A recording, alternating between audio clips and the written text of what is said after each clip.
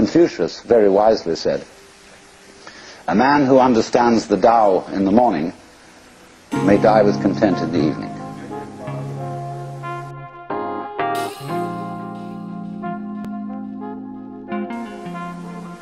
Because when you understand, you don't put your hope in time. Time won't solve a thing.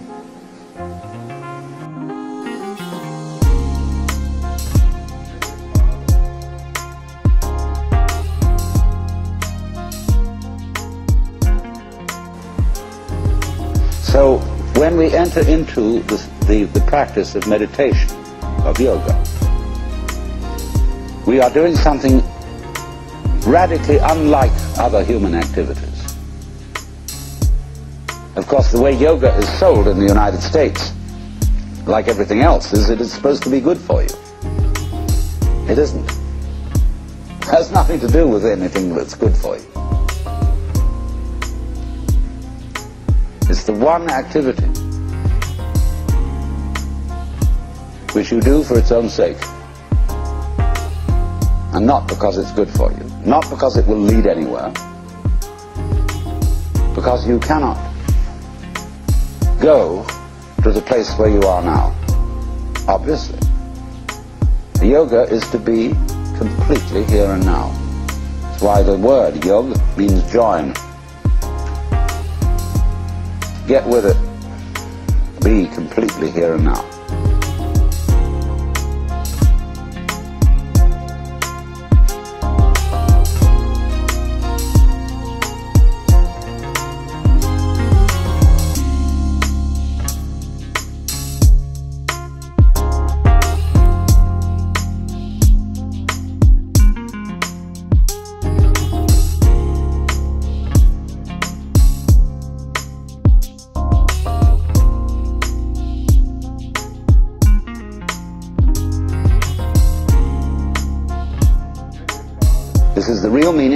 Concentration, to be in your center. And the Christian word for sinning in Greek is hamartanein, which means to miss the point.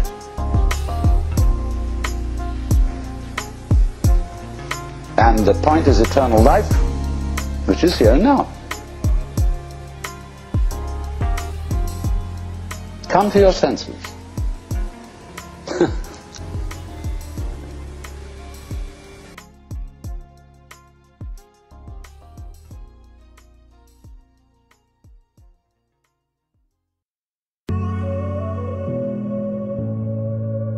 Yoga is defined in Sanskrit. In the Yoga Sutra, Yoga Chitta Vritti Nirodha. Difficult to translate, but roughly,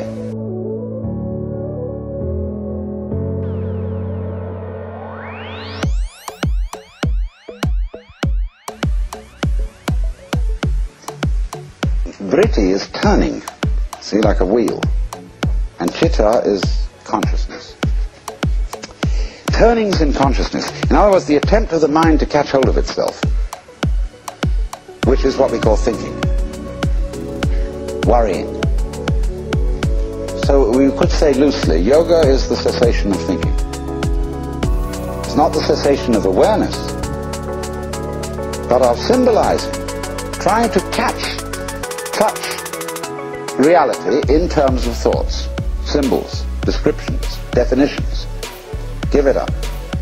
It's not easy because we do it habitually. But until there is silence of the mind, it is almost impossible to understand. Eternal life, that is to say, eternal now. If you could come to the place where you suspend conceptions, conceptions in Sanskrit are called vikalpa, and so the state is called nirvikalpa, not conceptual. And this will be basic to everything I'm going to talk to you about. To understand non-verbal reality, non-conceived reality, what I call suchness, tathata. It's really very easy. It's too easy. That's why it's difficult. But that when you are fully aware and not thinking, you will notice some amazing uh, absences. there is no past. Can you hear anything past, incidentally? Can you hear anything future?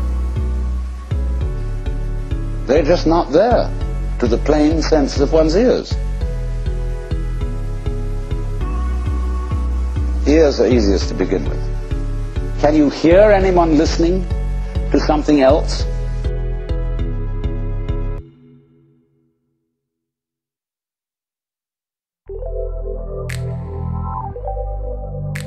Can you hear the listener? No? Well, then presumably it's not there. Then you become again as a child. And simply forget all that you ever were told and contemplate what is. All these ghosts go away. That's weird. But they just go. And then you enter into the eternal state. Well, there's no problem. William, you go back and you collect your opinions again. You think, well, that won't do. How, how can I be practical and be in that sort of state? Well, I remember in the Sermon on the Mount that Jesus said um, a lot of things about this. Consider the lilies of the field, how they grow. They toil not, neither do they spin. And yet, Solomon in all his glory was not clothed like one of these. And if God so clothes the grass of the field, which today is and tomorrow is cast into the oven, shall he not much more clothe you, faithless ones? Wow. So,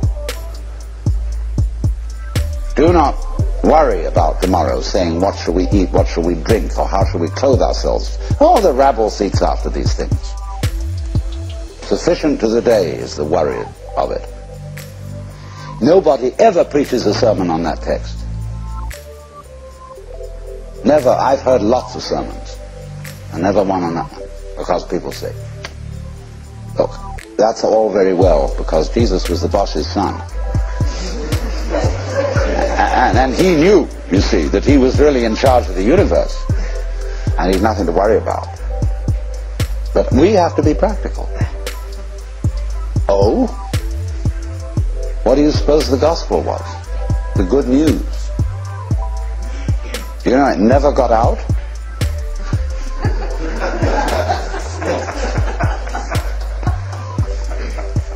You too are the boss's son. That was the gospel. If Jesus had lived in India, they wouldn't have put him to death. Because everybody in India knows that we're all God in disguise.